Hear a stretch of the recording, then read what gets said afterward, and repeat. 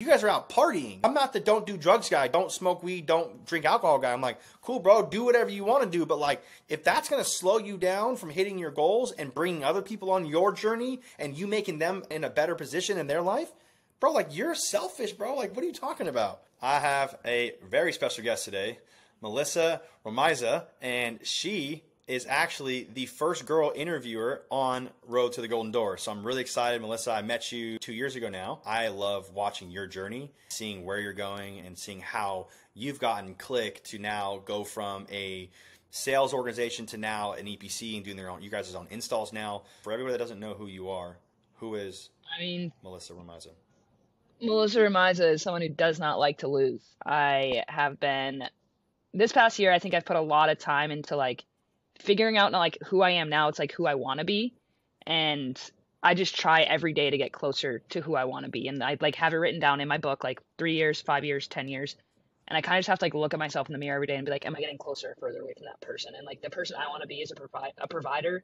I want to be able to provide for my family, provide for my guys, my people, my friends, and just like genuinely have a heart of gold and like everything that I do with the best intentions. Tell me about the journey that you said you bring your reps on. Like, tell me about that. Like, what does that even look like, practically speaking? If you want to go quick, go alone. If you want to go far, go with go with a team. Like I plan to go super far in this industry. I have made sure this year to bring as many people on that journey and verbalize it to as many people as possible what I was going to do. And I feel like that's something I wasn't doing before. I was just trying to get to the top by myself and I wasn't bringing my family, I wasn't bringing my friends, I wasn't telling them what I was doing.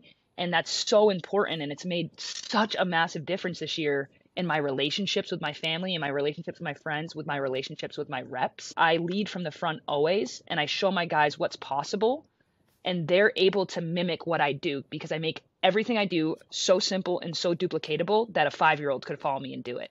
What do you think people are not saying about being on top? Everyone talks about their work schedule. Everyone talks about their routine. Everybody talks about their presentation. Nobody talks about what it takes mentally outside of work in the morning and at night to make sure you can continuously put those numbers in.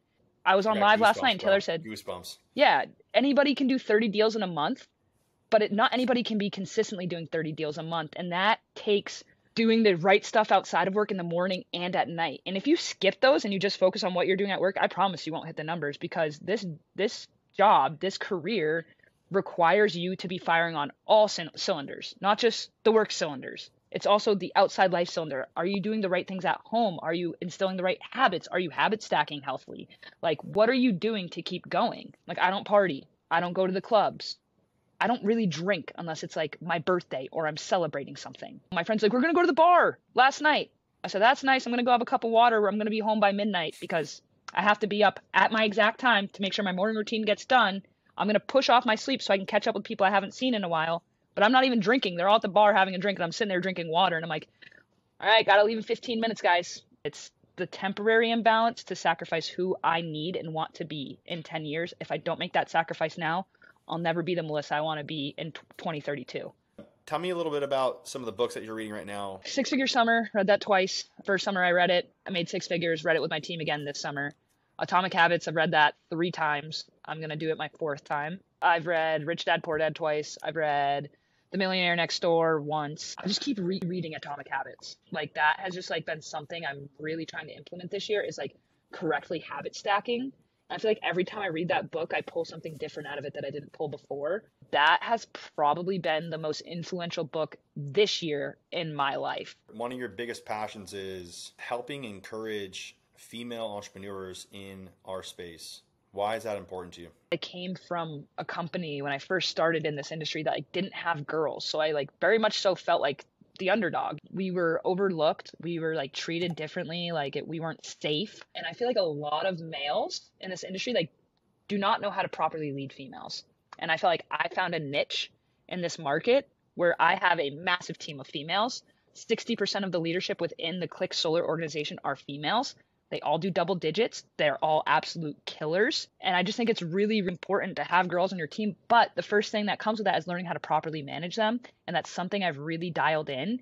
And I think I have almost mastered at this point. I feel like we're breaking barriers that a lot of companies aren't breaking or really trying to break. And it's not even like I tried super hard. I did make it a focus.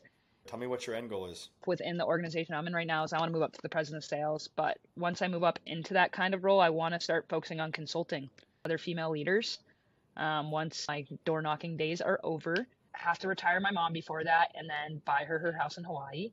Kind of the end goal is like I still want to stay in Colorado. I always want to be a part of the solar community because it's brought so much and given so much to me. I want to give it all back. That's my end game is to help this industry grow, and I want to see it with way more females. I just appreciate you. So, um, thank you. Thank you for the time, man. I appreciate being on here. How do people find you on your socials? Instagram's the best place. My Instagram's my first and last name, M E L I S S A R O M I Z A, and then there's four A's at the end, so A A A A, and then a seven. I'm working on more videos to put on my Instagram to help some of you guys out on the doors. Don't ever hesitate to hop in the inbox. I'm always here to help. Thank you, Melissa. Appreciate you, man.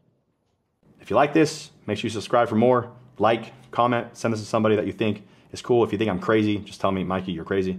Or if you got something out of it, let me know in the comments as well. Cheers.